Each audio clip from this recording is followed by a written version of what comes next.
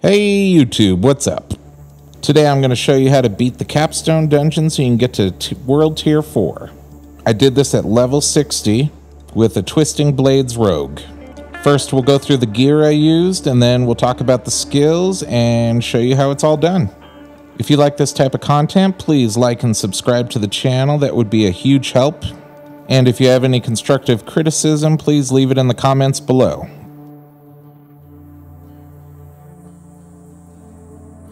First up, we're using the Escape Artist's Adventurer Helm. This helm drops a smoke grenade anytime you take damage, which stuns the enemies around you, and you dodge the next two attacks, which keeps you alive.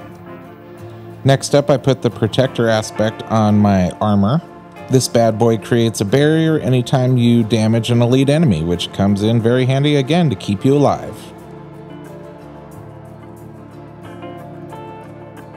I used the Wind Striker aspect on my boots, which grants me increased movement speed anytime I critically strike.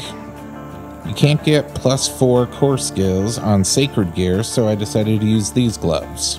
Enemies are always vulnerable, so basically you have a 30% chance to cast a Shadow Clone to do extra damage.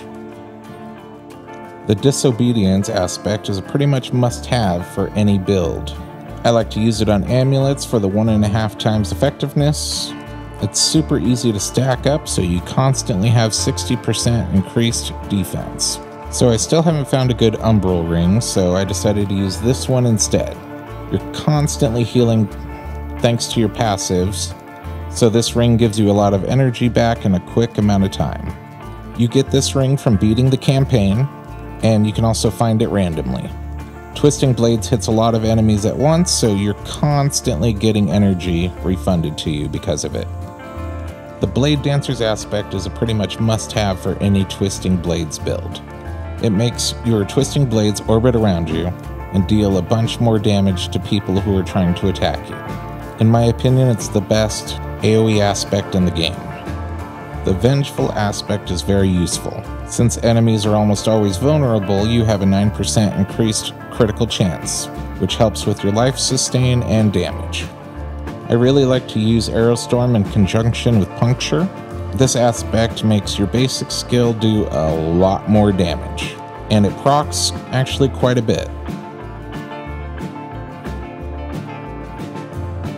Now that we've discussed the gear I'm using, let's talk about the skills.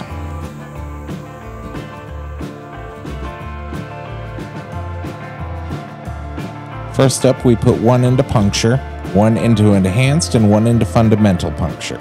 This skill helps you gain energy and makes all your opponents vulnerable. We also put five into twisting blades, one into enhanced, and one into improved. This offers huge damage and helps daze your enemies.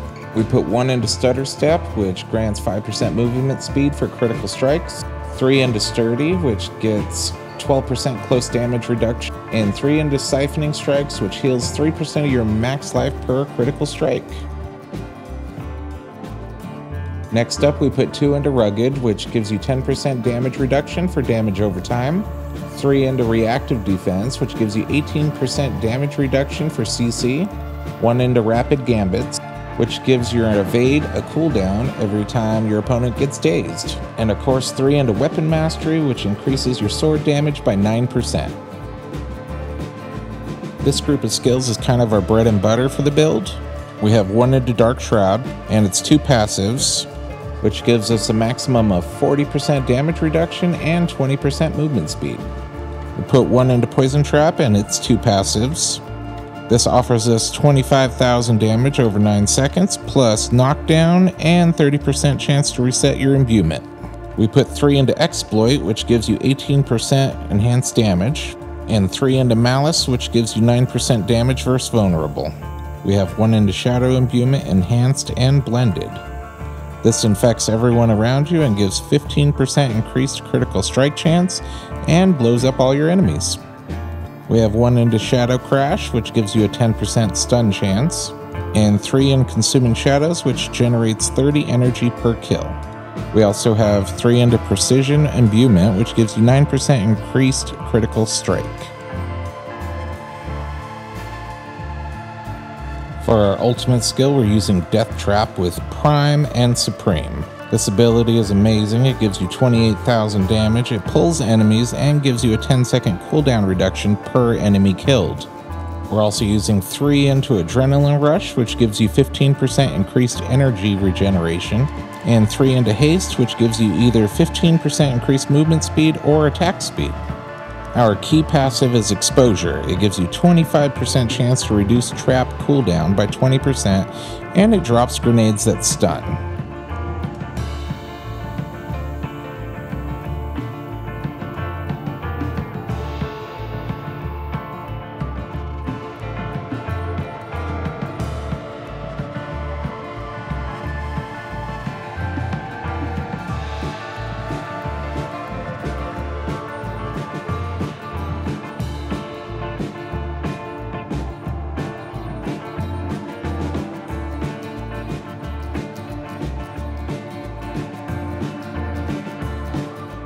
Eight hours later.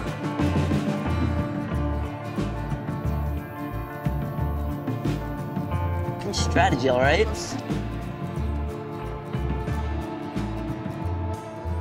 We finally made it to the big boss. We've already killed Elias probably 30 different times during the campaign, but now it's time to kill him one last time. I swapped out Shadow Imbuement for Poison Imbuement for the extra damage to a solo player and I swapped also to combo points for the extra damage. This whole dungeon was recommended at level 70, but we were able to do it at level 60. The best way to kill this boss is just turn your brain off and spam your abilities directly on him. Try to save your death trap for when mobs come up, but honestly they'll be sucked in, your twisting blades will kill him, and you'll be fine. You should be leeching enough life to stay alive during the fight, and your poison damage does so much, the boss will melt pretty freaking quickly. Try this build out for yourself, and if you've had success with it, let me know in the comments below. Thanks for watching, guys, and have a great day.